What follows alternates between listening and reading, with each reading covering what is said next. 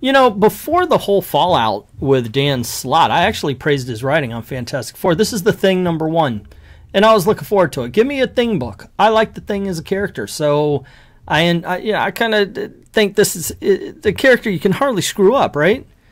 I don't think they do that too much here. There's a very dark beginning, and then it kind of goes into what should be the light part of the story where we're actually meeting and talking to Ben Grimm and getting to know him. But it, oh my gosh, what a mopey. Now, Ben Grimm has been mopey before, but why did they break up Alicia and Ben? What's going on? I don't, I'm not going to read the book uh, to figure it out and find out, but. I can only imagine that. Holy crap! What I read here, where Alicia says, "Well, I think we need to see uh, other people. I need to think we need we need to separate and have our own time to figure out our own lives.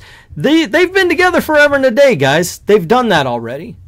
That's the whole point of their relationship getting together and such. I don't know. I did not like that at all. And that has colored the whole book right here. I get it. Ben Ben should not be jealous of Alicia being out with anybody. Seriously. This is something that he, he should not be like, oh, woe is me. I'm in the ugly rock monster when it comes to Alicia because he should understand if anybody accepts him for who he is, it's her. So I don't know what led to this cluster.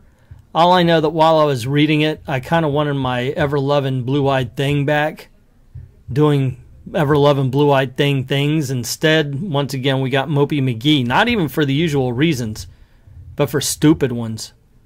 I don't know. I wanted to like this book. I didn't hate it. It's just I don't like the direction it's going in.